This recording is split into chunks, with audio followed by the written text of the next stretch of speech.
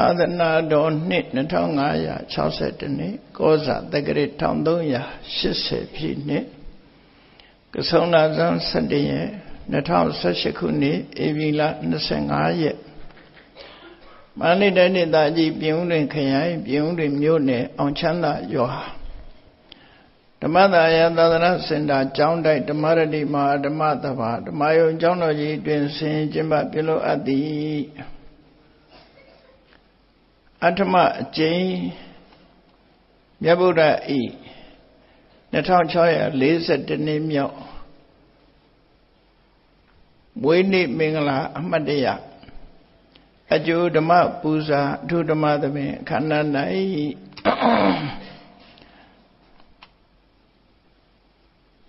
မန္တလေးမြို့ဝင်းမြင့်ဦးတော်ရင်ရင်နွယ်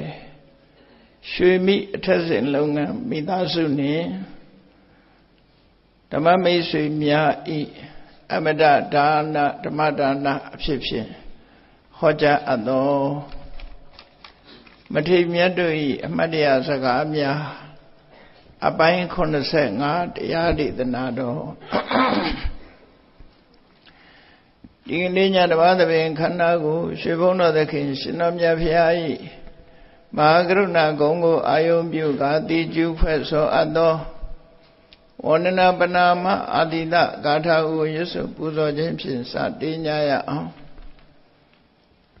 ယောကပကောတိဟိပိယပမေယံကာလံကရွန်တော်တိဒုက္ခရာနိခေရံကတောလောကဟိတယနာထောနမောမကာရုဏိကတတတ္တယောနာထောဝိနိယမြတ်စွာတတ္တဝါဤ ချမ်းသာစီးပွားလိုလားတောင်းတကုံပေါင်းခါသဖြင့်နာထမြညာကျင့်ရှင်တော်မြတ်ဖရာသည်ကဗ္ဗကောတိဟိပိဂရေကဘာအရေးအတွက်သင်္ချာတို့ဖြင့်တော်လဲအဘေမယံရည်တွေ့တိုင်းတာဖော်ပြခြင်းငါမစွမ်းနိုင်ပါသော ကာလံလေးအသင်ချေသိနေကဘာရှိကြသောကာလပတ်လုံးလောကဟိတယတတလောကဤအကျိုးစီးပွားအလို့ငါအတိဒုက္ခရဏိဥ္စာအသက်ချင်းလဲအင်္ဂါမိတ္တကြီးမှာသမိတာနှင့်တထာဇနီဆွန်ញင်းကြီးဟုကျက်တိထဝဲငါးသက်အစုအလုံးခဲရင်သောမူရောကို ကရွန်တော်ဖျားဖြစ်ရန်ဤတန်ကြိုးကုတ်အာထုတ်တော်မူရသည်ဖြစ်ဖြစ်ခေရန်လက်ချိမျက်လုံးအသက်ဆုံးလည်းရဲ့နှလုံးစိတ်ဝံကိုရောဤပြမန်းခြင်းသို့ကတောဝဒနာကျိန်ပများစွာရောက်တော်မူခဲ့ရရှာလေပြီမဟာကရုဏီကတတတဝါများရင်ဝေသားကဲ့သို့တနာချစ်ခင်မှာကရုဏာရှင်ဖြစ်တော်မူသော တသနာတသဝိနည်းများစွာတတဝါဤချမ်းသာစီးပွားလိုလားတောင်းတကုံပေါင်းခါသဖြင့်နာထမြညာထိုးရှင်တော်မြတ်ဖရာအားနမောယုတိပြောင်းပြော့မံကိုလျော်၍ကရောယုကျိုးရှိခိုးခြင်းသည် အထုဘဝတုစင်စစ်မသွေဖြစ်ပါစေတည်း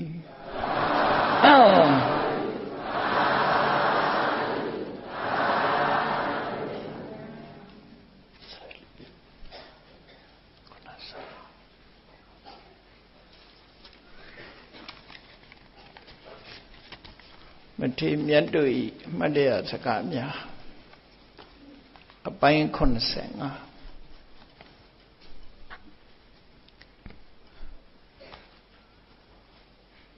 သာသနာတော်နှစ်အနေနဲ့က2562နှစ်လို့ဆိုရသဗျာပြိဋိဘံစံသွားပြီးထားတော်မူခဲ့တဲ့သာသနာတော်ရဲ့နှစ်ဆိုလိုတယ်ပေါ့နော်ရသော်ဗျာဟာတက်တော်80မှာပြိဋိဘံဆန္ဒဖြစ်လို့တက်တော်80ပြိဋိဘံစံပြီးမှ တစ်ကနေစရည်တွက်တဲ့သာသနာဟာသာသနာနှစ်ဆိုတာပြပြိဋိဘံစံပြီးတဲ့နှစ်လို့ဆိုလို့တယ်ပေါ့သာသနာတော်နှစ်2562နှစ်ရှိသွားပြီကဆုံလာပြီးတော့တည်းဆိုရင်62နှစ်ထဲပြောင်းမယ်ပေါ့ခုချိန်မှမပြောင်းသေးဘူးနေယူရလှုပ်ချင်တော့အဲ့ဒီကဆုံလာပြီးတော့တည်းနေလှုပ်ပေါ့အဲ့ဒါမြတ်စွာဘုရားရဲ့ နေယူရပေါ့ဒီနိဗ္ဗာန်ဆံသွားတဲ့နေယူရဘုရားမြတ်စွာကိုပူဇော်ဖို့ရည်ညွှန်းပြီးတော့ကျင့်ပတဲ့ဒီကဆုံလာပြီတရားပွဲဟာထူးခြားတဲ့တရားပွဲလို့ပြောဘာဖြစ်လို့ထူးခြားတယ်လို့ပြောလဲဆိုရင်ဘုရားဗဒဝင်သူတော်စင်တွေအများစုနေထိုင်တဲ့မြန်မာနိုင်ငံမှာတောင်း မြတ်စွာဘုရားရဲ့မွေးနေ့ဆိုတာကိုတမားဖြင့်သိကြတော့လေမွေးနေ့ဟာဘယ်လောက်ရှိပြီဆိုတာမသိကြပဲနဲ့ခရစ်တော်ရဲ့မွေးနေ့ကြတော့သိနေကြတယ်2018ဆိုတာခရစ်တော်မွေးနေ့ဟောဘုရားရဲ့မွေးနေ့ကိုဘုရားဘာသာဝင်တိုင်းတတိပြုမိဖို့ရဲ့မြတ်စွာဘုရားဟာကဆုံလာပြီနေ့မှာ မွေးဖွားတော်မူခဲ့တာခုဒီနေ့ဆိုရင်မြတ်စွာဘုရားရဲ့မွေးနေ့ပေါင်းဘယ်လောက်ရှိသွားပလဲဆိုတာကိုအမှတ်တရဖြစ်စေခြင်းလို့ဒီပွဲကိုကျင်းပတာဖြစ်တယ်ဓမ္မစီစဉ်ကောင်းတယ်လို့ပြောနော်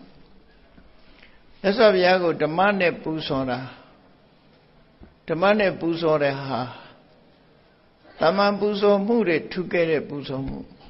မြန်မာနိုင်ငံမှာတော့ကဆုံလားပြီဗုဒ္ဓနေ့လို့သိကြတော့လေညောင်ရည်သွန်းပွဲကလွှမ်းနေတယ်မြတ်စွာဘုရားရဲ့ဖွားတော်မူနေ့ဆိုတာကိုသိပြီးတော့အမှတ်မထားဘဲနဲ့ညောင်ရည်သွန်းပွဲဆိုတာနဲ့ပဲမြတ်စွာဘုရားနဲ့ဆက်ဆက်နေတဲ့ဘောဓိပင်ကိုညောင်ရည်သွန်းတာပဲပွဲအဖြစ်ကျင်းပပြီးတော့မြတ်စွာဘုရားရဲ့မွေးနေ့ပွဲလို့ကျင်းပတာမရှိဘူး နော်ခုတော့ထူးထူးချွန်းချွန်းထူးထူးခြားခြားဒကာကြီးဥဝင်းမြင့်ဥကနေပြီးတော့စတင်ပြီးတော့ကျင်းပလိုက်တာတပြေးပြေးဘုရားရဲ့ဖွာတော်မူတဲ့နေ့ကတိမှတ်ပြုလာကြတယ်တီယိုနိုင်ငံမှာတော့ဝေဆက်ပွဲတော်ဆိုပြီးတော့လုပ်တယ်အခုတော့ကဘာမှာထီအောင်လုပ်နေကဘာကုလသမဂ္ဂလို့ခေါ်တယ် United Nation တက္ကရာ2000တုန်းကလောကကိုအကျိုးပြုတဲ့ပုဂ္ဂိုလ်တွေထဲမှာမြတ်စွာဘုရားရဲ့အဆုံးအမတရားတော်တွေဟာလောကသားတွေရဲ့စိတ်ထဲနှလုံးထဲမှာယဉ်ကျေးသိမ်မွေ့သွားစေတာဖြစ်လို့စိတ်နှလုံးအေးချမ်းမှုကိုပေးစွမ်းနိုင်တဲ့မြတ်စွာဘုရားရဲ့အဆုံးအမတရားတော်တွေကိုထောက်ထားပြီးဘုရားဟာလောကရဲ့ခြေဆုရှင်တစ်ပါးပဲဒါကြောင့်မွေးနေ့အမှတ်တရဝဲတွေ ကဘာကအတိမပြုဖို့ဆိုပြီးတော့တက္ကရာ2000ကျတော့မှဗုဒ္ဓနေ့ကိုဂိစက်တဲ့ holiday ဆိုပြီးသတ်မှတ်တယ်တက္ကရာ2000ကျမှသတ်မှတ်ခံရတာနော်အဲ့တော့မြတ်စွာဘုရားဖွားတော်မူပြီးတက္ကရာ2000ကျမှမြတ်စွာဘုရားကိုအတိမတ်ပြုရတယ်လို့ဒီလိုအဓိပ္ပာယ်မျိုးရောက်သွားတယ်ကဘာကအတိမြတ်တယ်တက္ကရာ2000ကျမှအတိမတ်ပြုလိုက်အဲ့ဒီကုလသမဂ္ဂ အဖွဲ့ကြီးကနေပြီးတော့မြတ်စွာဘုရားဖွာတော်မူတဲ့လုံမဏိအင်ဂျင်ဥယျာဉ်ကိုလည်းမြန်မာနိုင်ငံကကုလသမဂ္ဂအထွေထွေအတွင်းရင်မှုချုပ်ဥတန့်လက်ထက်မှာသူ့ရဲ့တင်ပြတောင်းဆိုချက်အရာ မြတ်စွာဘုရားဟာလောကသားတို့အတွက်ခြေဆုရှင်ဖြစ်တယ်ခြေဆုရှင်ဖြစ်တဲ့မြတ်စွာဘုရားရဲ့မွေးဖွားရလုံမဏီဥယျာဉ်ဆိုတာလည်းပြစ်ထားသလိုဖြစ်တယ်မြတ်စွာဘုရားရဲ့ birth place မွေးနေ့မွေးရမွေးတဲ့ဒေသမွေးရဌာနကိုလည်းပဲအတိမတ်ပြုသင့်တယ်လို့ဆိုပြီးတော့ကုလသမဂ္ဂရံပုံငွေနဲ့လုံမဏီဖွံ့ဖြိုးတိုးတက်ရေးဆိုတဲ့စီမံချက်ကိုချပြီးတော့လုပ်တာ အဲ့ဒီအမှာဘုရားဖွားတော်မူတဲ့နေ့ဒေသဆိုတာလေထင်းထင်းရှားရှားဖြစ်လာတယ်ကဘာကအာယုံဆိုင်လာတဲ့အနေထားမျိုးရောက်တယ်နော်အဲ့ဒါလို့မြတ်စွာဘုရားနဲ့ပတ်သက်ပြီးတော့တကယ်ကျေးဇူးရှိတဲ့ပုဂ္ဂိုလ်တူလူသားတွေကလူသားတွေကိုအကျိုးပြုတဲ့ကျေးဇူးရှင် ဖြစ်တဲ့မြတ်စွာဘုရား အဲ့ဒီမြတ်စွာဘုရားရဲ့အဆုံးအမတရားတော်တွေကြောင့်လူတွေဟာလမ်းမှန်သိရှိနားလည်ကြပြီးတော့မင်္ဂနဲ့လမ်းကြောင်းကိုရှောင်လန်းနိုင်ကြတယ်တခြားဘာသာတွေကကိုးကွယ်တယ်ဖျားဆိုတဲ့ဟာတွေကလူမဟုတ်ဘူးနတ်တွေသာဖြစ်တယ်နော်ကောင်းကင်ဘုံကခောဆိုတာတွေကိုကဘာကြီးကိုဖန်ဆင်းတယ်အနန္တတကုရှင်ဆိုတာနဲ့မျောမှန်းရမ်းစပြီးတော့ကိုးကွယ်နေကြတာ တကယ်ကတော့ကောင်းကင်ကဟိုတခြားဘာသာတွေအနေနဲ့ပြောမယ်ဆိုရင်ဒါတခြားစဉ်းစားကြည့်ရင်သိတယ်တခြားဘာသာတွေကဘာကိုးကွယ်တာလို့မေးရင်နတ်ကိုးကွယ်တယ်ဘာသာနတ်ဆိုတာကောင်းကင်ကနတ်ပဲဖြစ်ဖြစ်မြေပြင်ကနတ်ပဲဖြစ်ဖြစ်တူတူပဲလေအဲ့တော့လောကလူသားတွေကနတ်ကိုးကွယ်တာဆိုတာအစင်လာကြီးတစ်ခုပဲဘုရားဘာသာဖြစ်တဲ့ဗမာလူမျိုးတွေတောင်မှပဲ38မင်းဆိုပြီးတော့ တောင်ပြုံးတို့ကစပြီးကိုးကွယ်နေကြသေးတယ်နတ်ကိုးကွယ်တဲ့အစင်လာရှိတယ်တခြားနိုင်ငံတွေကြည့်လိုက်မယ်ဆိုဂျပန်ဆိုတာရှင်တိုအစ်ဇင်ဆိုတာနတ်ကိုးကွယ်တာတရုတ်တွေလည်းနတ်ကိုးကွယ်တာနတ်ကိုးကွယ်တဲ့ဘာသာလွတ်တာမတမရှာအလုံးကဘုရားဘာသာလွဲရင်ကျန်တာတွေကနတ်ကိုးကွယ်တဲ့ဘာသာတွေပဲများတယ် God ဆိုတာနတ်ပဲအဲ့တော့ဘုရားဘာသာကတော့နတ်ကိုကိုးကွယ်တာမဟုတ်ဘူး သီလသမာဓိပညာလူသားတွေရဲ့ထူးခြားတဲ့အရည်ချင်းတွေသူမရှင်နိုင်လောက်အောင်ထူးခြားတဲ့အရည်ချင်းရှိတဲ့ရသော်ဘုရားကိုကိုးကွယ်တာသာဖြစ်တယ်တချို့ကလည်းလူလူချင်းရှင်မခိုးနိုင်ဘူးဆိုတဲ့ပုံကိုယ်တွေကလည်းနတ်ကိုတော့ရှ िख ိုးမယ်လူကြတော့ရှင်မခိုးဘူးဆိုတဲ့ပုံကိုယ်တွေလည်းရှိတယ်ပေါ့နော်ဒါတော့သူတို့ယူဆတရားလောကမှာ နတ်ကလူကိုအကျိုးပြုတယ်လို့ဆိုတာဟာတွေးတောဆင်ញင်မှုတစ်ခုသာလင်ဖြစ်တယ်သူတို့ကိုးကွယ်တဲ့နတ်တွေနဲ့ဘယ်နှခါတယ်လီဖုန်းဆက်ပြီးပြောရတာရှိလို့တမန်တော်ပြောတာပဲကိုယ်ကိုယ်တိုင်တွေးခွင့်ရလားရ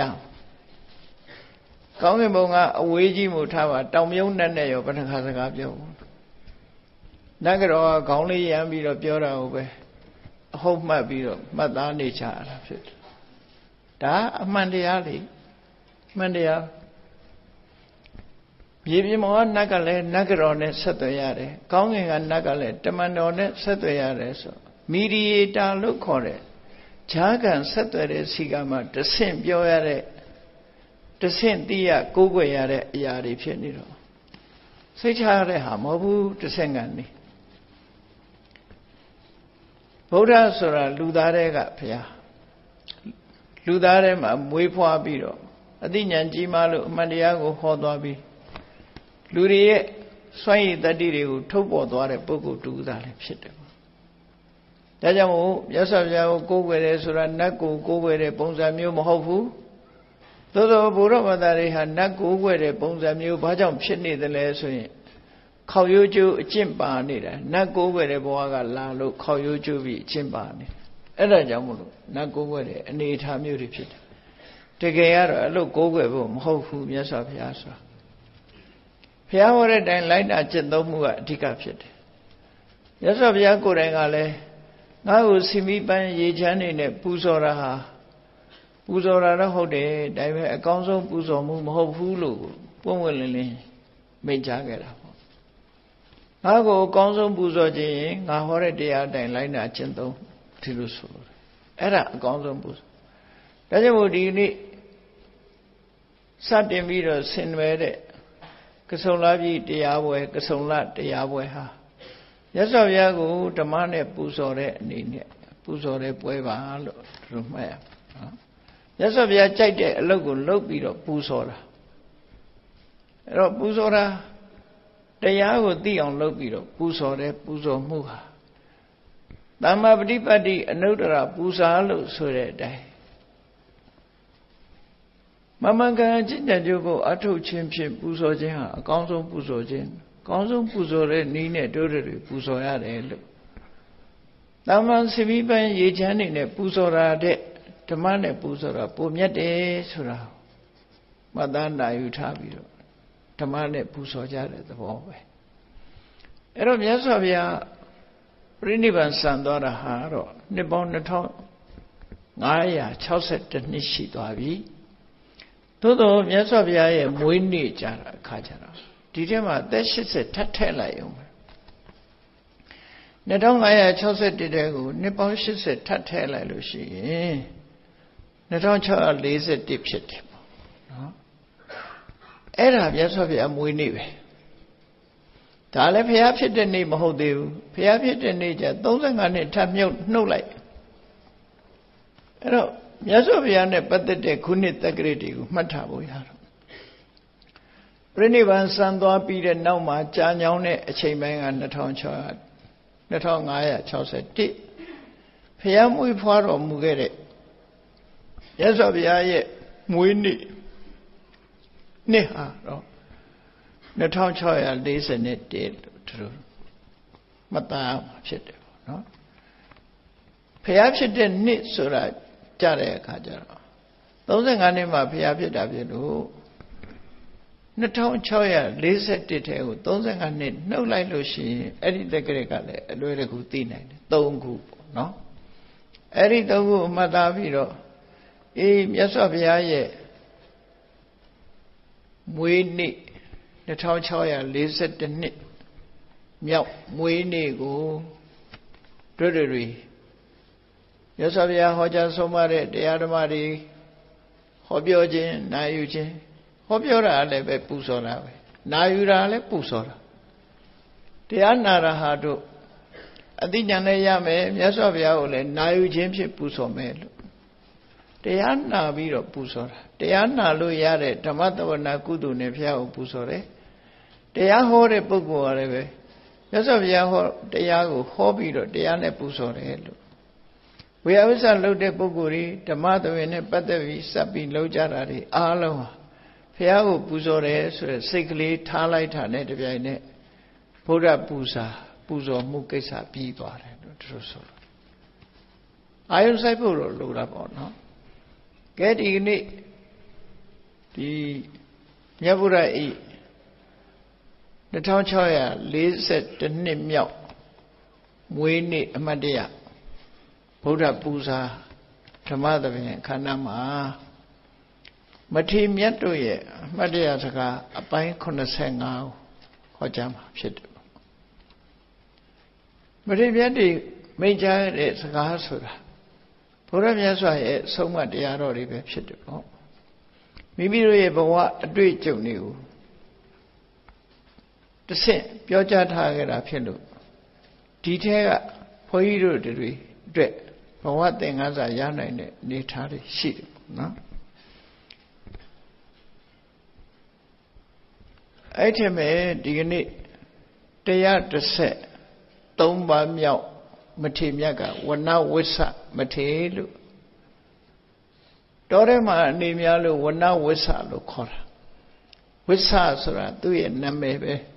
ဝဏဆိုတာတောတောထဲမှာနေလို့ဝဏဝိဆလို့ကွဲပြားခြားနာအောင်နာမည်ပေးထားတဲ့ပုဂ္ဂိုလ်အဲ့တော့သူပြောခဲ့တဲ့စကားလေးသူဘာပြောခဲ့သလဲဆိုတာလေးကစပြီးတော့ကြည့်အောင် သူ့ရဲ့အမှတ်တရစကားမှာဣသောတိကပုထုတိလာဣသောတိကဆိုတာဣသဥဒကဣသောတကပုထုတိလာသူနေတဲ့နေရာလေးကိုသူတည်ဖော်ထားတာဣသောတကဆိုတာရေလေးတွေလည်းကြီးစိမ့်နေတာပဲတဲ့ပုထုတိလာရေအိုင်ကြီးအနီးနားမှာ တန်တန်ပြန့်ပြန့်နဲ့ထိုင်လို့ရတဲ့ကျေပြတ်နဲ့ကြောက်ဖြာကြီးရလည်းရှိတယ်တဲ့ခေါနင်ကုလမိခာယုတာအဲ့ဒီရေအိုင်အနီးပါးမှာတဲ့နွားမိခဲ့သို့အမီးရှည်တဲ့ရောက်တဲ့ကြီးတွေဟာလည်းပဲအဲ့ဒီအနိဒာမှာရှိတယ်ပေါ့ထူးထူးခြားခြားထူးခြားတဲ့မြောက်ကြီးတွေဂေါနင်ကုလဆိုတာ သူတို့ရဲ့အမည်ကနွားအမည်လိုပဲမြောက်ကလည်းအမျိုးစုံရှိတာနော်နွားမြည်နဲ့တူတဲ့အမည်ရှိတဲ့မြောက်နဲ့ကြီးတွေဟာလည်းအဲ့ဒီနားမှာနေကြထိုင်ကြတဲ့တောအုပ်ချီရှိတယ်မိခာယုတာသမင်တရေကြီးငယ်ဆိုင်ဆက်ဆိုတဲ့တောတရဝါတွေဟာလည်းပဲအဲ့ဒီအိုင်ကြီးနာကိုမှီပြီးတော့နေကြတယ်တဲ့ အမ္ဗုတေဝလသစ္ဆနာရေအိုင်ကြီးနဲ့ရေအပြည့်အဲ့ဒီရေတွေပေါ်မှာလည်းပဲမော်ညင်းမော်သေးဆိုတာတွေလွှမ်းမိုးထားပြီးတော့တစ်ပင်တွေတောရိပ်တွေနဲ့အရေးအဝါဒအလွန်ကောင်းတဲ့တောစခန်း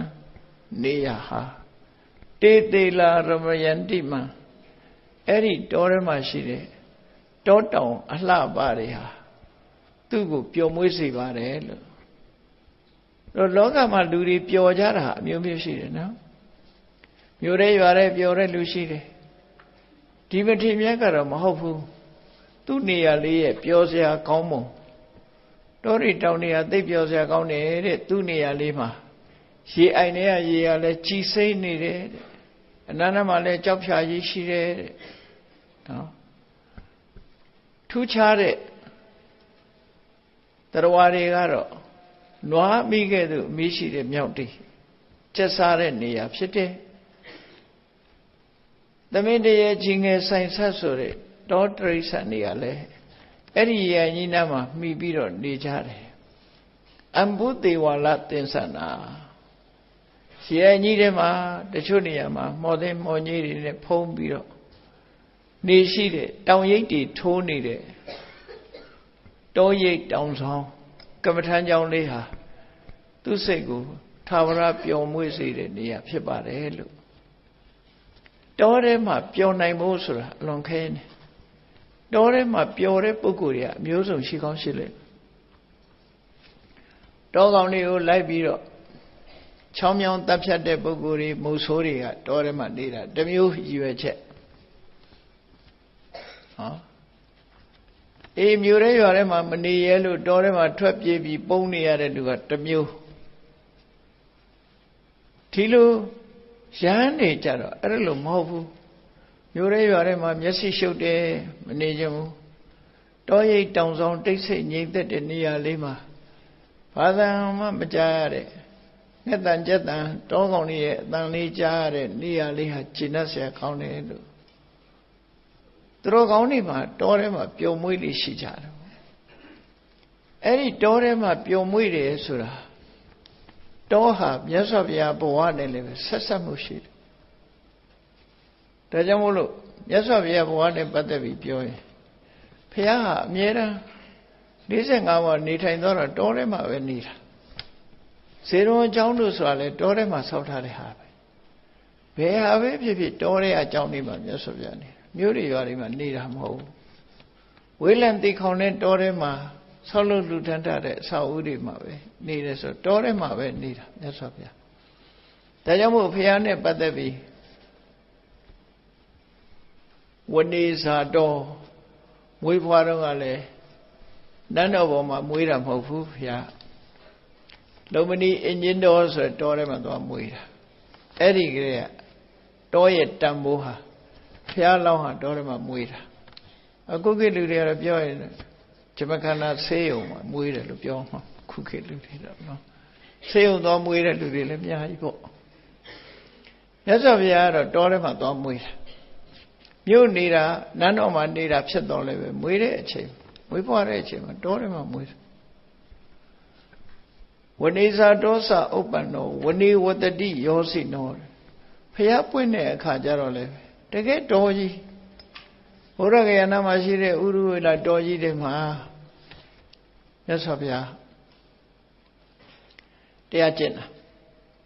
6နှစ်ပတ်လုံးဒုက္ခရစရိယကျင့်နေဆိုတကယ်တောအုပ်ကြီးတွေမှာကျင့်တယ်အဲ့ဒီတောအုပ်ထဲမှာပဲဘောရိပင်အရေးအောက်မှာဘုရားဖြစ်သူရောက်သွားတယ် နေတော့လေ45ဝါကာလပတ်လုံးတပည့်ဆက်ကြတရားဟောတော့လေဣတိပတနာဆိုတဲ့မိဂရာမှာဟောတယ်တောထဲမှာပဲတသလုံးဟာတောနဲ့ပတ်သက်ပြီးတော့နေတာအဲ့ဒီတောဟာမြတ်စွာဘုရားအဲ့ဒီတောကိုမြတ်စွာဘုရားဘာကြောင့်သဘောကျတာလဲဆိုတိတ်ဆိတ်ငြိမ်သက်လို့အေးချမ်းသာရလို့ဟောသူ့ဖို့တောဟာအေးချမ်းသာရပြီး နေလို့ထိုင်လို့လွတ်လပ်ပြီးတကယ်တရားဓမ္မနဲ့ကျင့်သုံးနေထိုင်လို့ရလို့တောတဲ့ကိုတောထဲမှာပျော်မွေးတာဖြစ်တယ်ပေါ့တောရဲ့အေးချမ်းသာရမှုတွေအေးလောကကမ္မဂုဏ်အာယုခံစားတဲ့ပုဂ္ဂိုလ်တွေကြတော့တောထဲမှာမပျော်နိုင်ဘူးတောထဲမှာပျော်လည်းမပျော်ဘူးကြောက်လည်းကြောက်တယ် သူတို့ကောင်းနေကြတော့တောထဲမှာသူတို့မှအန္တရာယ်မရှိဘူးအန္တရာယ်ပေးတဲ့အကောင်မရှိဘူးတာမန်ပုဂ္ဂိုလ်တွေကြတော့တောထဲကအကောင်တွေကိုလည်းလိုက်ဒုက္ခပေးတယ်လိုက်ဒုက္ခပေးတော့တောထဲကအကောင်တွေကလည်းသူတို့ကိုဒုက္ခပေးတယ်အဲ့တော့တောကောင်တွေကလည်းသူတို့ကိုကြောက်တယ်သူတို့ကလည်းတောကောင်တွေကိုကြောက်တယ်ပေါ့ပြန်လန်ကြောက်စိတ်နဲ့နေနေကြတာဥတဲ့လူကနှက်တာပဲပေါ့နော်ဥတဲ့လူကနိုင်စတမ်းပဲ တောထဲမှာနေချတာနေဖို့နေထိုင်ခြင်းမတူဘူးမြတ်စွာဘုရားရဲ့တပိတာဝကလေးကြတောရိပ်တောင်ဆောင်ကမ္မဋ္ဌာန်းကျောင်းလေးမှာနေရထိုင်ရတာဟာလူသူရောထွေးခြင်းမရှိသည့်အတွက်ကြောင့်အချိန်ပြည့်တရားနှလုံးသွင်းရတယ်အနောက်အရှက်မရှိဘူးတယောက်တည်းနေရတဲ့အကျိုးကျေးဇူးကိုတခါတော့ကမြတ်စွာဘုရားဖော်ထုတ်ပြီးတော့ဟောကြားတာမှတ်သားစရာကောင်း ရှင်းရှင်းလေးပြောတာရှေ့လှမ်းကြည့်လိုက်လဲတယောက်မှမတွေ့ဘူးတဲ့နောက်လှည့်ကြည့်လိုက်လဲတယောက်မှမရှိဘူးတဲ့လမ်းသွားတဲ့အခါမှာနော်ဘယ်ကြည့်ကြည့်ကိုတယောက်တည်းပဲဖုံးမောင်တယောက်တည်းဖြစ်အဲ့ဒါလို့ကိုတယောက်တည်းဆိုတာကြတော့ဘယ်လောက်ထိအောင်ချမ်းသာတော့လို့ဆိုတဲ့အခါနောက်ဖေးနောက်ဖိသွားကြရင်တော့မှလွယ်တယ်တဲ့အဲ့ဒီချင်း ရှေ့လူရှင်မြင်မှဆိုရတာနဲ့နောက်ကလူမြင်မှဆိုရတာနဲ့စိုးတာတွေရှိရလေအဲတောထဲမှာကြတော့ကိုယ်မြင်မဲ့လူတရားအောင်မှမရှိဘူးကြိုက်သလိုနေလို့ရတယ်လို့ဆိုလို့တယ်အဲ့ဒါလို့ဆိုလို့တာနော်ဒါကြောင့်မို့လို့တောကိုသဘောကျကြတယ်ဒီမထေမြတ်ကလည်းအဲ့ဒါကြောင့်မို့လို့တောကိုသဘောကျတဲ့အကြောင်းဖះရဲ့တပိသားပြီပြီးတောကိုသဘောကျမြတ်စွာဘုရားရဲ့ဘဝဟာ တောထဲမှာမွေးတယ်မင်းသားဖြစ်ပေမဲ့လို့နန်းတော်မှာမွေးတာမဟုတ်ဘူးတောထဲမှာမွေးတယ်ဖះဖြစ်တော့လေတောထဲမှာပဲဖြစ်တယ်ဖះဖြစ်ပြီးသတင်းသုံးတဲ့အခါမှာလည်းပဲတောထဲမှာသတင်းသုံးတယ်နောက်ဆုံးဘဝခန္ဓာဝန်ချပြီးတော့ပြိဋိဘံပြုတဲ့အခါမှာလည်းပဲတောထဲမှာပဲဘဝတစ်လျှောက်လုံးဟာတောနဲ့ပတ်သက်နေတယ်လို့သူဆိုအောင် တောရဲ့တန်ဖိုးဟာအမတမကြီးမားတယ်ခဏိခေတ်တော့အဲ့ဒီတောတွေပြောင်းအောင်ရှင်းလိုက်သည့်အတွက်ကြောင့်ဒုက္ခရောက်ကုန်တယ်ဟာတောပြောက်အဲ့ဒါလို့မြတ်စွာဘုရားဘဝနဲ့ဆက်ဆက်ပြီးတော့ပြောဝနေဇာတောစဥပ္ပန္နောဝနေဝတတိယောစိနောရှင်းတော့ကကာထဘာနာဖွဲ့ပြီးတော့ပြောတာ မြတ်စွာဘုရားဘဝအဲ့ဒီလိုမြတ်စွာဘုရားဟာတောနှစ်သက်တာမိမိကိုယ်တိုင်နှစ်သက်ယုံမြမကရဟန်းတော်တွေကိုလည်းတောမှာနေဖို့တိုက်တွန်းတယ်ဘလောက်ထိအောင်ပြောတော့ဆိုလို့ရှိရင်အေးတောထဲနေတဲ့ပုဂ္ဂိုလ်နဲ့မြို့ထဲနေတဲ့ပုဂ္ဂိုလ်ဖះဘလောက်ထိပြောတော့ဆိုရင်တောထဲနေလို့ယမယံခါ အိတ်ငိုက်ပြီးနေခြင်းနေပါစေတဲ့တောထဲမှာနေတာအိတ်ငိုက်ပြီးနေခြင်းနေပါစေတဲ့မြို့ထဲနေတဲ့ပုဂ္ဂိုလ်ဟာဇံဝင်စားပြီးတော့နေခြင်းနေပါစေတဲ့မြို့ထဲမှာတမာရိရပြီးဇံဝင်စားနေတာနဲ့တောထဲမှာအိတ်ငိုက်နေတာအိတ်ငိုက်နေတာပိုကောင်းသေးတယ်လို့ဘာကြောင့်ကောင်းလို့ဆိုရင်မြို့ထဲမှာဇံဝင်စားနေတဲ့ပုဂ္ဂိုလ်ကသိမကြဘူးတက္ကရာကမတွေရောက်လာလိမ့်မယ်ကိုလာပြီးတော့ပြောကြစကားပြောကြမဲ့ပုဂ္ဂိုလ်တွေ မကြခင်ရောက်လာပြီးတော့အနှောက်အယှက်တွေဖြစ်နေတယ်တောထဲမှာနေတဲ့ပုဂ္ဂိုလ်ကတော့တဲ့သူအိတ်ချင်လို့အိတ်ချင်အိတ်ပါစေမကြခင်တောရဲ့စိတ်ငြိမ်တိတ်ဆက်မှုမှာသူဟာတမာရီတရားတွေတက်လာပြီးတော့အသိပညာတွေတိုးတက်လာတဲ့အခါမှာကိရိတာအသဝါတွေကုံအောင်နှိမ့်နှင်းနိုင်သွားပါလိမ့်မယ်ဒီလိုတောင်ဟောထားတာမြတ်စွာဘုရားနော် အဲ့ဒါလို့တောတဲ့ရဲ့နေတာထိုင်တာကိုပို့ပြီးတော့ချီးမွမ်းပြီးတော့တောထဲမှာနေဖို့တိုက်တွန်းတယ်မြတ်စွာဘုရားအမြဲတမ်းဒီဝဏဝိစ္စမတရားလည်းပဲသူ့ကိုယ်သူပြောပြတယ်အဲ့ဒါလို့ပြောတာဘာကြောင့်သူပြောတော့ဆိုသူဟာယဟနာဖြစ်ပြီးတောထဲမှာအနေများတယ်ယမယခသူ့ရဲ့ဆွေတွေမျိုးတွေ ဆွေတွေမျိုးတွေကိုချီးမြှောက်လို့တဲ့စိတ်နဲ့သူ့ကိုအကြောင်းပြုပြီးကုသိုလ်ရပါစေဆိုတာချီးမြှောက်တယ်ခေါ်တယ်နော်သူ့ကိုအကြောင်းပြုပြီးကုသိုလ်ရစေခြင်းနဲ့စိတ်ထားနဲ့ဒီမထေမြတ်မြို့ရွာဘက်ကိုရောက်လာတတ်တယ်ရောက်လာရင်ကြာကြာနေတာမဟုတ်ဘူးမကြခင်ပဲတောပြန်အဲ့ဒါလို့သူ့ရဲ့ဆွေတွေမျိုးတွေနဲ့တွေ့ပြီး တရက်တလေနေပြီးပြန်သွားတဲ့အခါမှာဆွေတွေမျိုးတွေကအရှင်မရတဲ့တောတယ်မပြန်မနဲ့လားသူတို့ဆွေတွေမျိုးတွေနဲ့နီးတဲ့မြို့เจ้าရွာเจ้าမှာနေသူတို့လည်းပဲနေစဉ်ဆွမ်းကွမ်းဝေယဝိစာလုပ်ပြီးကုသိုလ်ကောင်းမှုပြုခွင့်ရတာပေါ့ရှင်ဘုရားမြို့เจ้าမှာနေပါလို့ဆိုတော့သူကပြန်ပြောတဲ့စကားအဲ့ဒါနော်သူပြန်ပြီးတော့သူပြောလိုက်တဲ့စကား အစောတကပုထုတိလားအေးငါနေတဲ့နေရာကရေလေးတွေရေအိုင်ကရေတွေကကြီးနေတာကြောက်ဖြာကြီးလည်းရှိတယ်ထူးခြားတဲ့မြောက်ကြီးတွေလည်းရှိတယ်သမင်းတရေကြီးငယ်ဆိုင်ဆက်ဆိုတဲ့တောကောင်တွေလည်းရှိတယ်အင်းဒီအိုင်နေမှာလည်းပဲရေမော်ညင်းလေးတွေဖုံးလို့ဂျာပန်နေပွင့်လန်းလို့ တောရိပ်တောင်ဆောင်မှာရှိကြတဲ့တောရချောင်းတောင်တန်းတွေဟာသူ့ရဲ့စိတ်ကိုကြည်နူးစေပါတယ်ဒါကြောင့်ငါတောပဲနေမယ်ဆိုပြီးပြန်သွားတာဒီဒီဓာတုရဲ့မတ်တရားစကားကိုပြောတာပေါ့နော်အဲ့တော့ဒီပုဂ္ဂိုလ်ဟာတောထဲမှာအခုလိုနေထိုင်ပြီးတော့ဒါယဟန္တာဖြစ်သွားပြီသူက ယဟန္တာဘဝနဲ့တော်တဲ့နေတာဒါဖြင့်သူဘယ်လိုလုပ်ယဟန္တာဖြစ်တယ်လဲသူ့ရဲ့စာကြောင်းကိုပြန်ပြီးတော့ကြည့်မယ်ဆိုရင်လူဟာအကြောင်းမဲ့ယဟန္တာဖြစ်တာတော့မရှိဘူး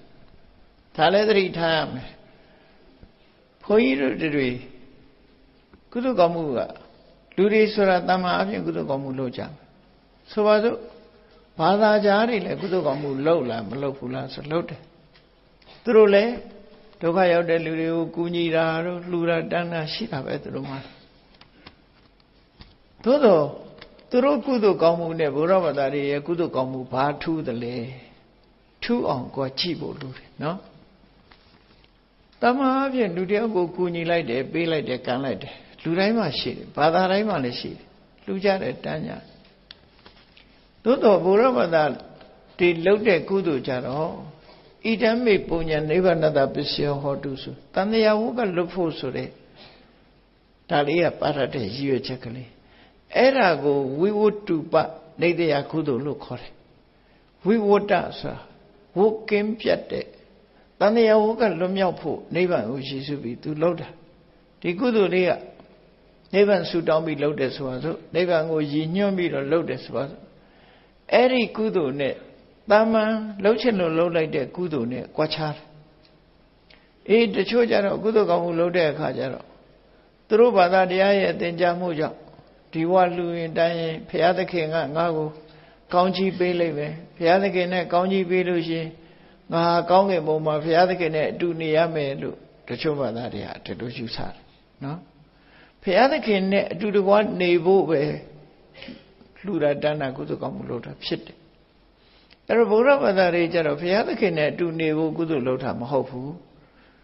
တန်တရားဝုကလွတ်ဖို့ဆိုတဲ့ရည်ရွယ်ချက်ရှိတယ်အဲ့ဒါကိုဝိဝုတုပနေတယကုသိုလ်လို့ခေါ်တယ်ဝုကင်းရာတန်တရားဝုကင်းရာကိုရည်ညွှန်းပြီးတော့လုပ်တဲ့ကုသိုလ်ကောင်းမှုအဲ့ဒီကုသိုလ်မျိုးစိတ်လေးဟာနိဗ္ဗာန်ကိုမရောက်မချင်းအထောက်အကူပြုနေမှာဖြစ်တယ်ပေါ့ အဲဘုရားသခင်နဲ့ဆုံစည်းဖို့တင်လုပ်တယ်ဆိုလို့ရှိရင်ဘုရားသခင်ကရှိလို့ဆုံရင်လဲဆုံပဲမဆုံရင်လဲမဆုံဘာလို့လို့ဆိုဘုရားသခင်ရှိတယ်မရှိဘူးမသိရင်ဘယ်လိုလုပ်ရောက်အဲ့တော့ဆုံရင်လဲတန်တရားထဲမှာပဲဆုံမယ်တော့ကုသိုလ်ကောင်းမှုအနေနဲ့ကတန်တရားဝကလွတ်ဖို့ဆိုရရွေချက်ကမပါဘူးအဲ့လိုရွေချက်ပါတာမှဝိဝတ္တဥပနိဒေယဝိဝတ္တကို အထောက်အကူပြုတဲ့ကုသိုလ်ကောင်းမှုလို့အဲ့ဒီကုသိုလ်မျိုးစိမျိုးကိုလှုပ်ဖြစ်ဖို့ဟာအရေးကြီးတယ်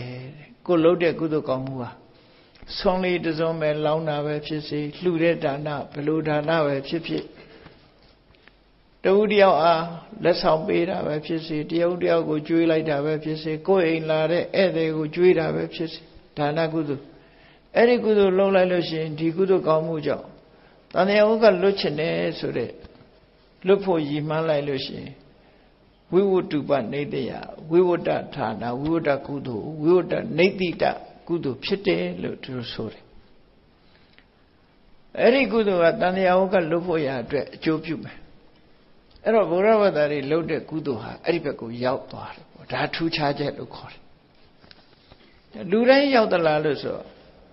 သင်ထားပြီးတော့နားလဲတဲ့ပုဂ္ဂိုလ်တော့ရောက်မှာပေါ့နော်သို့သောအဆုံးမတရားထဲမှာတော့ဒီလိုပါတာမို့ရတော့အဖြစ်တော့ရောက်ပါလိမ့်အဲ့ဒီကုသိုလ်မျိုးတဲ့အခုဒီဝနဝိဆဆိုတဲ့မထေလောင်းလျာတဲ့ဒီကဘာနဲ့60တကွာပြန်ပြီးတော့ချိလိုက်တဲ့အခါမှာသူဟာအဲ့ဒီကုသိုလ်မျိုးတစ်ခုလုပ်ခဲ့ဘူးတယ်အဲ့ဒါလှုပ်တာသူသဘောနဲ့သူလှုပ်တာလားဆိုတော့မဟုတ်ဘူး သူ့ကိုဆုံးမဩဝါဒပေးတဲ့ပုဂ္ဂိုလ်တွေရှိနိုင်တယ်ပေါ့နော်ဒါမျိုးကအသိရှိမှလှုပ်တာအဲ့ဒါလို့လှုပ်ပြီးတော့တန်တရားလဲတဲ့အခါမှာ60ကဘာတဲ့မှာဝိပဿနာမြတ်စွာဘုရားနဲ့ကြုံတွေ့တဲ့အခါမှာသူလူဘဝရောက်လာဖះပွင့်တဲ့အချိန်မှာဝိပဿနာမြတ်စွာဘုရားလက်ထက်မှာလူသားဖြစ်တယ်အဲ့လိုလူဖြစ်ပေမဲ့လူဖြစ်လာပြီဆိုရင် လူဘဝလူမှုလုပ်ငန်းလုပ်ကြတာဘုန်းကြီးတို့တွေလူလူဖြစ်လာပြီဆိုရင်ကတိခေလူတွေလည်းဒီတိုင်းပဲလေကိုယ်ဘဝဘေးအတိုင်းလောက်ကင်စားတော့ကြတာအယောင်းဝယ်လုပ်တဲ့ပုဂ္ဂိုလ်ကလုပ်တယ်နော်အယောင်းဝယ်လုပ်တဲ့ပုဂ္ဂိုလ်ကလုပ်တယ်စိုက်ပျိုးရေးလုပ်တဲ့ပုဂ္ဂိုလ်ကလုပ်တယ်ဝန်ထမ်းလုပ်တဲ့ပုဂ္ဂိုလ်ကလုပ်တယ်အကူလီလုပ်တဲ့ပုဂ္ဂိုလ်ကလုပ်မယ်မျိုးစုံပေါ့အဲ့ဒါလို့ ဘဝတစ်ခုရလာလို့ရှိရင်လုတ်ကင်ဆက်တော့သူဟာလည်းပဲဝိပဿနာမြတ်စွာဘုရားလက်ထက်မှာလုတ်ကင်ဆက်တော့ရတာဆိုသူများအိမ်မှာသူကဝန်ထမ်းအနေနဲ့လုတ်ကင်ဆက်တော့တယ်အဲ့ဒီလိုလုတ်ကင်ဆက်တော့ရင်ကနေပြီးတော့လူဆိုတာလေတခါတခါမှားတတ်တယ်ပေါ့နော်ခုခေတ်လည်းရှိတာပဲတယောက်နဲ့တယောက်မတည့်ဘူးရံဖြစ်ကြတယ်ရံဖြစ်တော့ ရံဖြစ်ပေါ်တယောက်ယောက်ကိုသူကဒုက္ခပေးလိုက်တယ်ပေါ့ဥမာမဲ့လူသားမှုကျွလွန်တာတော့ဘာတော့တခုလုံးလိုက်တယ်သူအဲ့ဒါလို့တခုကျွလွန်ပြီးတဲ့အခါမှာသူထွက်ပြေးသွားတာဘဝဆိုတာအကောင်းနဲ့ကြီးတော့မတွေ့ဘူးအဆိုးနဲ့လည်းတွေ့တတ်တယ်ထွက်ပြေးသွားတယ်တော်တဲ့ထွက်ပြေးတာထွက်ပြေးတော့သူ့ကိုလိုက်လိုက်ကြတော့သူ့ရန်သူတွေကသူ့ကိုတတ်မယ်ဆိုလိုက်တာ ခုခေတ်လည်းအဲ့လိုလူမျိုးရှိတာပဲလေတတ်မယ်ဆိုလိုက်ကြတာနောက်ဆုံးမှာသူကလွတ်အောင်မပြေးနိုင်ဟောပြေးနိုင်တဲ့အချိန်မှာဘာဖြစ်တုံးဆိုမြတ်စွာဘုရားပွင့်တော်မူတဲ့ဘောဓိပင်အဲ့ဒီဘောဓိပင်ကိုလမ်းမှာတွေ့တဲ့ပန်းနေနဲ့ချိုးပြီးတော့ဘုရားကိုပူဇော်ဘောဓိပင်ကိုရှ िख ိုးတယ်ပူဇော်တယ်ဘေးရန်အန္တရာယ်ကျုံလာတဲ့အခါလူဟာကြောက်လန့်တကြား ကုသိုလ်ကောင်းမှုတွေအားကိုးယုံကြည်ပြီးတော့လှုပ်တယ်ပေါ့လှုပ်ပြီးစုပန်တယ်ပေါ့ဘေးရန်ကင်းမှုအတွက်စုပန်အဲ့ဒီလိုဘောဓိပင်ကိုရှ िख ိုးပြီးဘောဓိပင်ကိုကြီးညိုတဲ့စိတ်နဲ့အားကိုးတကြီးအဲ့ဒီလိုလှုပ်ခြင်းကနေပြီးတော့နောက်ကသူ့ကိုတတ်မလို့လိုက်လာတဲ့လူတွေဟာသူ့ကိုမှီလောက်တဲ့အချိန်လေးရောက်တဲ့အခါမှာတစ်ဖက်ကလည်းပြေးစရာလမ်းကုန်သွားပြီသူပြေးစရာလမ်းကုန်သွားတော့ ဘာလို့ရတော့လို့ဆို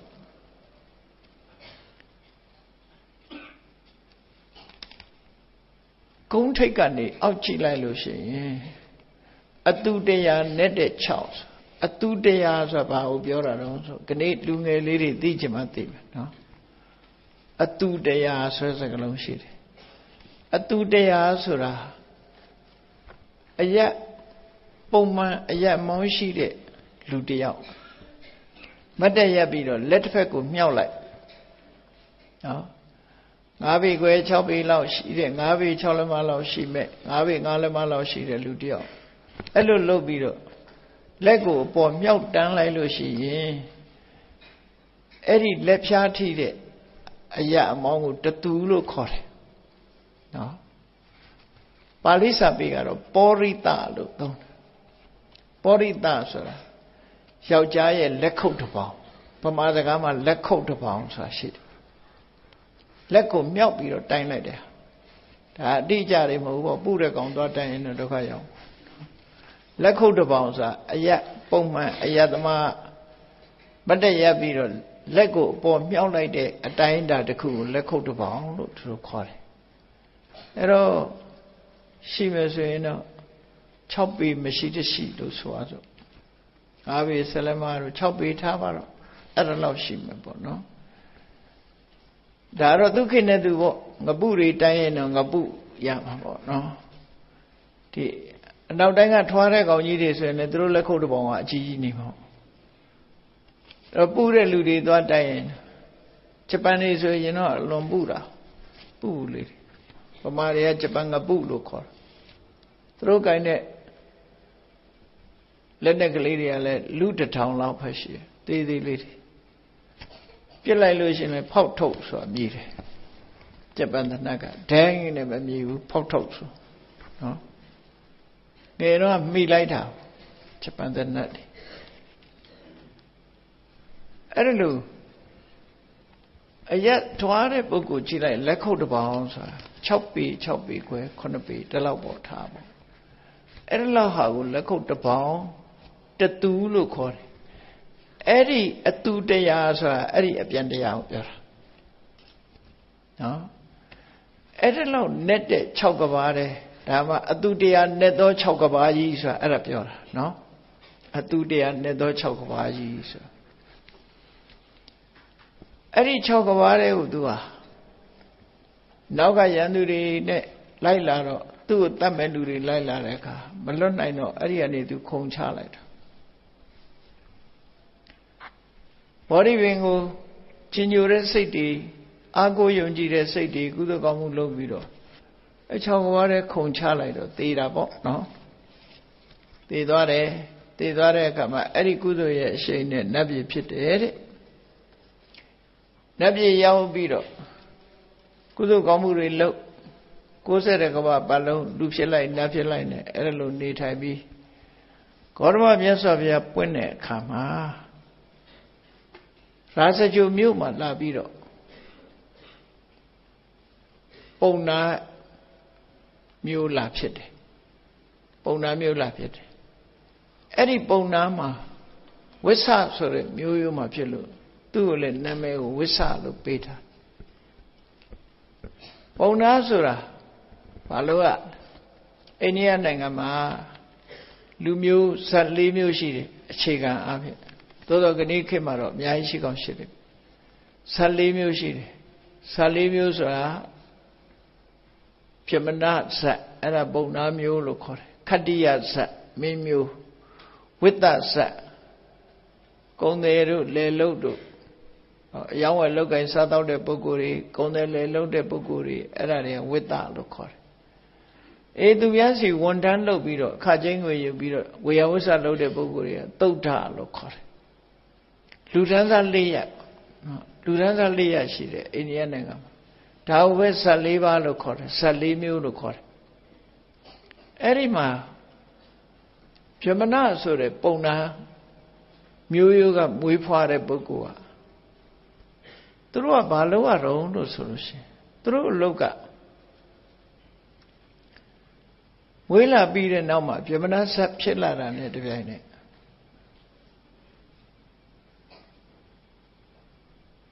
48နှစ်လောက်ထိအောင်သူတို့ဟာဖေရကျမ်းတွေကိုသင်ယူရတယ်ဒါသူတို့အလုပ်ပဲဖေရကျမ်းဆိုတာဘေရင်ဟောတဲ့ကျမ်းကြီးတို့မအောင်မိတ်တယ်နတ်တွေပူဇော်တဲ့ဂါထာတွေတို့မိပူဇော်တဲ့ဂါထာတွေတို့ဂါထာပေါင်းမြောက်များစွာရှိတဲ့ဝေဒကျမ်းဘေရင်သုံးပုံလို့လည်းခေါ်တယ် အဲ့ဒီဝေဒကျမ်းတွေကိုသင်ယူရတာအသက်48နှစ်ထိအောင်အိမ်အောင်မပြုရဘူးအဲ့တွင်မှာ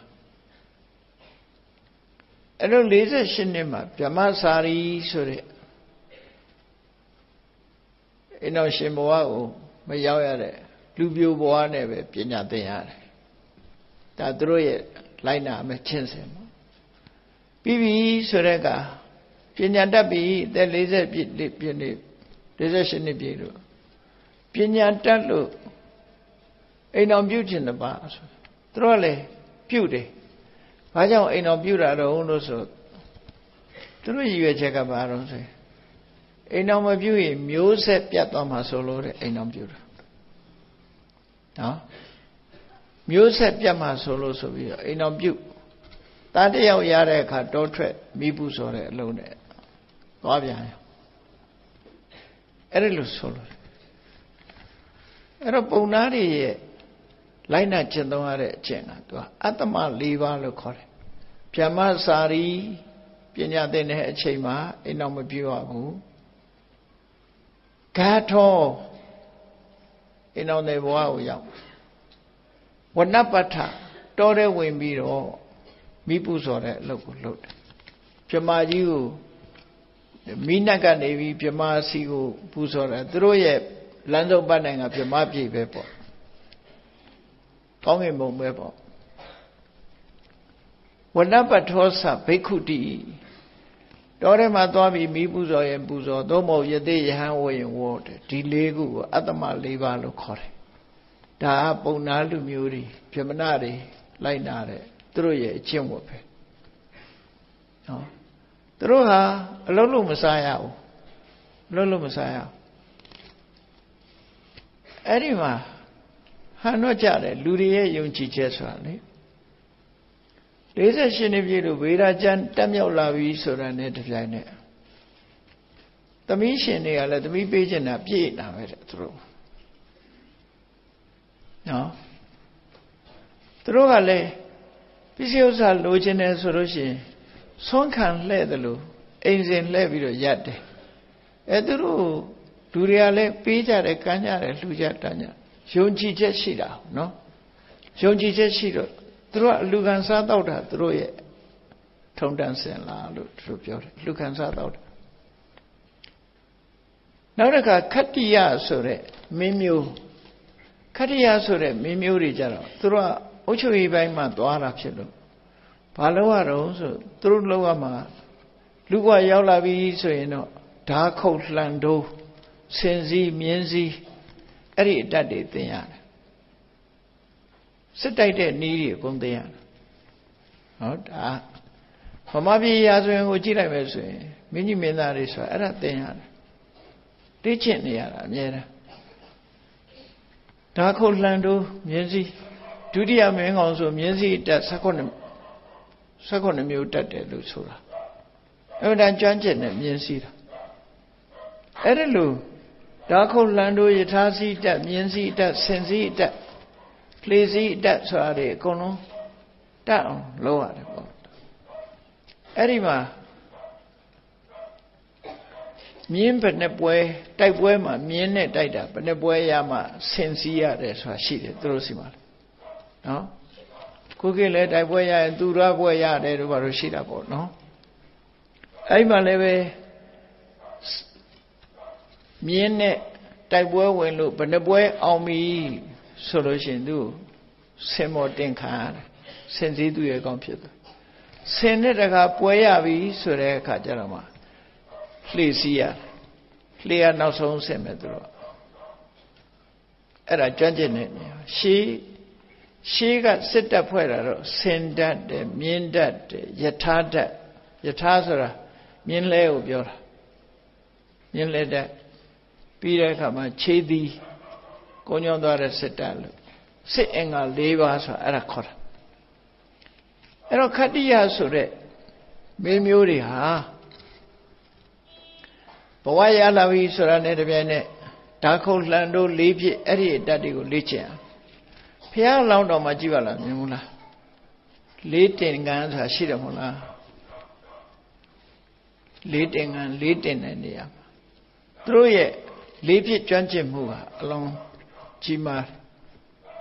တရဝေဒီဆိုတဲ့လက္ခဏာဝေဒီတို့တတ္တဝေဒီတို့သူတို့ရဲ့ကျွမ်းကျင်မှုတွေဘယ်လောက်ကျွမ်းကျင်လို့ဆိုရင်အတန်ကြားလို့ရှိရင်ကြားတဲ့နေရာကိုမှောင်ပြစ်နိုင်တဲ့ခုခေတ်ဒီလိုဟိုရင်းနေပါလေပါရမဟုတ်ဘူးတယ်လီစကုပ်တွေပါနေနေချိန်တာမဟုတ်ဘူးသူကနော်စနိုက်ပါတွေပါတွေနဲ့ချိန်ပြီးပြစ်တာမဟုတ်ဘူး နားတဲ့အတန်ကြားတာနဲ့ကြားတဲ့နေရာကိုများနဲ့ပြည့်မှတ်နေတယ်သူတို့တတ္ထဝိဓိတတ်လို့ခေါ်တယ်အတော်ကိုဒုက္ခိနဲ့သူမှာတော့တတ္တဝိဓိအခဏဝေဒီဆိုတာဘယ်နေရာပြည့်ပြည့်လွဲချော်မှုမရှိအောင်ပြည့်နိုင်ဆိုလိုတာကသပင်ကြီးလောက်ဟာလေးတောင်ထက်ချမ်းခွဲအောင်ပြည့်နိုင်တယ်လို့ဆိုတာသူတို့တတ်တယ်နောက်တစ်ခါ ပုံခါနုပုံခဆိုတဲ့စကားလုံးတိုင်း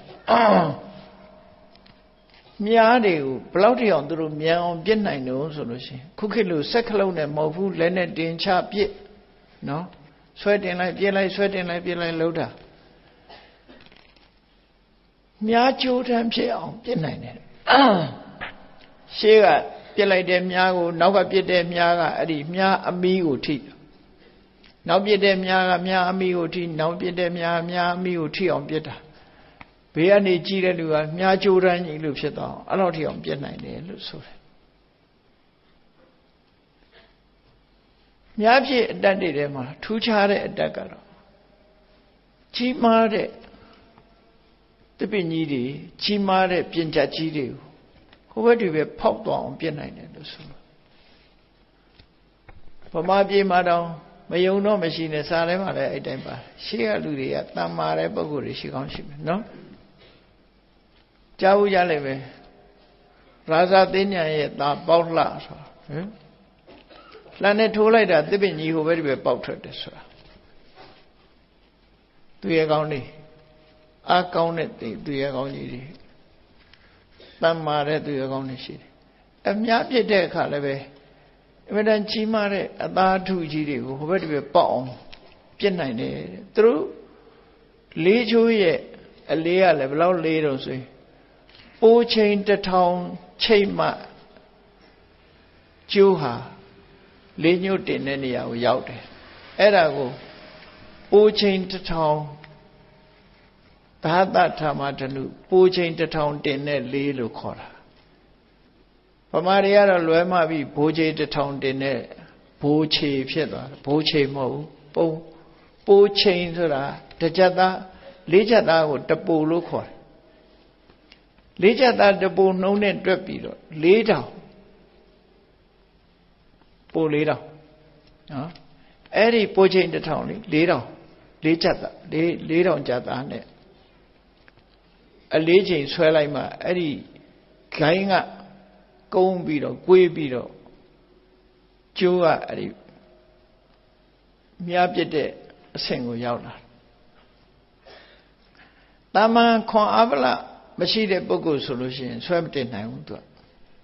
မတင်နိုင်ဘူးအဲ့ဒါကိုဘိုးချေတထောင်တင်တဲ့လေးလို့ခေါ်ပြန်တာအဲ့ဒါပိုးချိန်တထောင်လေးရှိတဲ့လေးတဲ့အဲ့ဒီလေးမျိုးကြီးကလူတိုင်းတင်နိုင်ချနိုင်တာမဟုတ်ဘူးပြစ်နိုင်တာမဟုတ်ဘူးတ ကယ်ခွန်အားဗလာလည်းကောင်းတယ်ကျွမ်းကျင်တဲ့ပုဂ္ဂိုလ်တွေသာလုပ်တယ်အဲ့တော့ခတ္တိယဆိုတဲ့မျိုးရိုးတွေဟာဒါပဲသူတို့လေ့ကျင့်တာသူတို့ခေတ်ကခတ္တိယတွေဟာအုပ်ချုပ်တဲ့မင်းမျိုးလူဒန်းစားဖြစ်တယ်ဝိတ္တတွေကြတော့နွားမွေးတယ်လဲထွန်းတယ်အယောင်းဝယ်လုပ်တယ်ဒါဝိတ္တတွေရဲ့လုပ်ငန်းတုဒ္ဓတွေကြတော့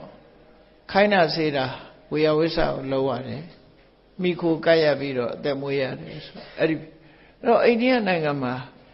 အဲ့လိုသူလမ်းကြောင်းနဲ့သူလူတွေဟာဘဝဘေးဆိုတာအဲ့ဒါခေါ်တာ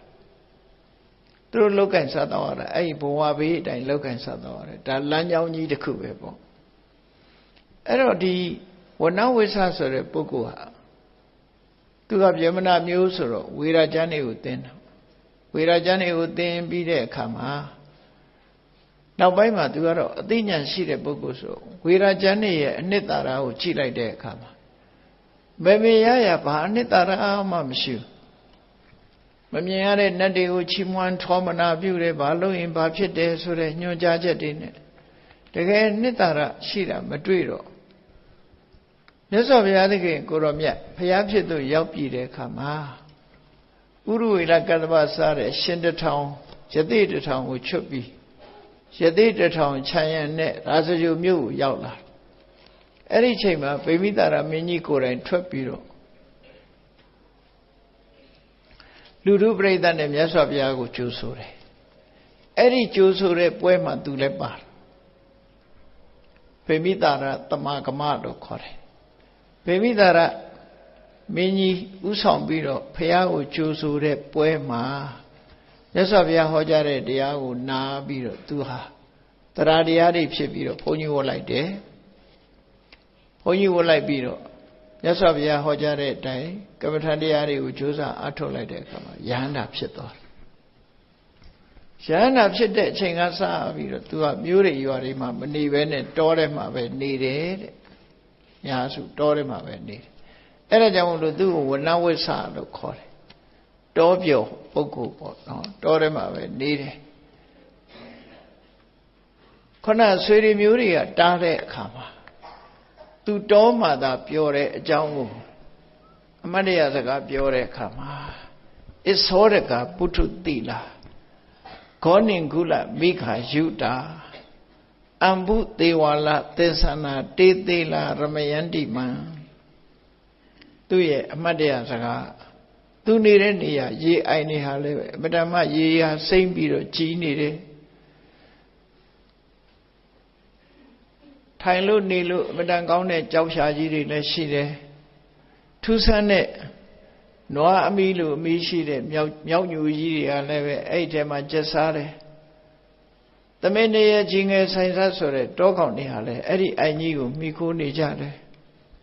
ရှေးအိုင်ကြီးဟာလည်းပဲအမတမလှပလို့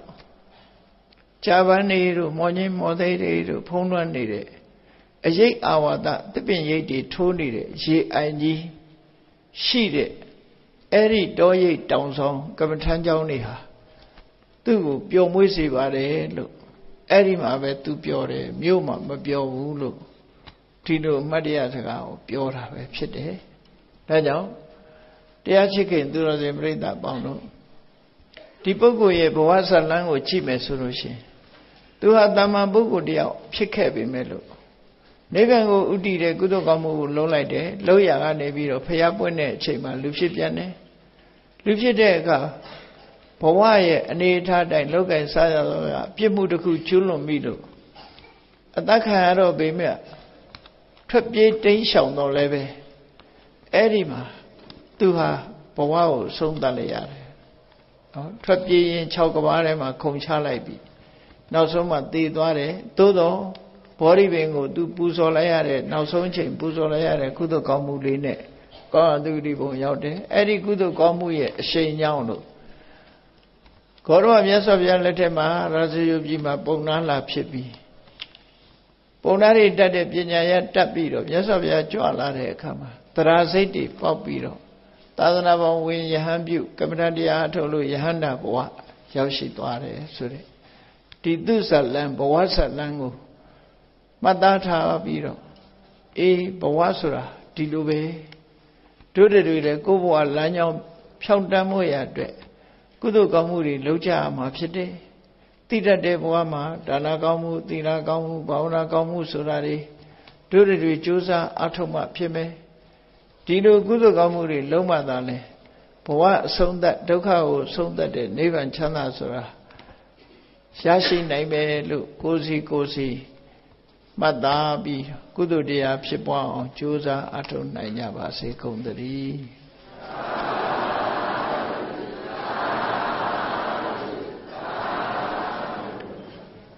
မ မေတ္တာပို့ရအောင်တတဝါများစွာ သတ္တဝါများစွာ ဘေးရန်กว่า ဘေးရန်စွာ ချမ်းသာကြပါစေ ချမ်းသာကြပါစေ တတဝါများစွာတတဝါများစွာဘေးရန်ကွာဘေးရန်ကွာချမ်းသာကြပါစေချမ်းသာကြပါစေမေတ္တာရေချမ်းမေတ္တာရေချမ်းသုံးငါဖြံသုံးငါဖြံငြိမ်းချမ်းကြပါစေငြိမ်းချမ်းကြပါစေမေတ္တာရေချမ်းမေတ္တာရေချမ်းသုံးငါဖြံသုံးငါဖြံ ငြိမ်းချမ်းကြပါစေငြိမ်းချမ်းကြပါစေသက်ရှိကြမ်းမာသက်ရှိကျမ်းမာစိတ်ချမ်းသာစိတ်ချမ်းသာတို့ရဆန္ဒပြေပါစေတို့ရသန္တာပြည့်ပါစေသက်ရှိကြမ်းမာသက်ရှိကျမ်းမာစိတ်ချမ်းသာစိတ်ချမ်းသာတို့ရဆန္ဒပြေပါစေတို့ရသန္တာပြည့်ပါစေ ဟောလန္တဒုက္ခပင်ကစားမေတ္တာပုံနေတုသင်္ကမမနောတရတိတပိတံဘဝယန္တုဒုက္ခန္တကမေတ္တာပုံနေတုသင်္ကမစုပေါင်းပုအမေတ္တာတဟုရောင်မြူပဝင်းငွေလာမင်းနှင့်ရောင်ကြီးရှဲယုံပေါင်းဆောင်ရခြင်းကြောင့်သဗ္ဗေသံကျွေးမဲ့ဥတုံလုံးစုံများစွာတတ္တဝါတို့၏ မနောတရတိမြင်မြတ်ဖြူစင်အေးကြည်လင်းသည့်ရေစဉ်ပြည့်တင်းစိတ်နှလုံးတည်ဟုသော ရေအိုင်ကြီးအတွင်၌ဒုက္ခပင်သာစင်ထာဝရအိမြจิตသာတာယာပွင့်လန်းချမ်းသာဒုက္ခဒီဟုသော ကုမုဒ္ဒရာကြာပန်တို့သည် ဖုံးလန္တဝန္တရွှေမြူဝမုံလူလျက်ကြည်နုပွဲကြုံဖူးပွင့်ကြကုန်သည်ဖြစ်၍သူကန္နကလေးအောင်လေးတဲ့ရောရှက်သင်ပြန့်ပိတိတိဟုသောယနတ်တို့သည် ဘဝယန္တုကောင်းစွာမဲ့သွေကြိုင်လိုက်၍နေကြပါစေကုန်တည်းသာသာသာ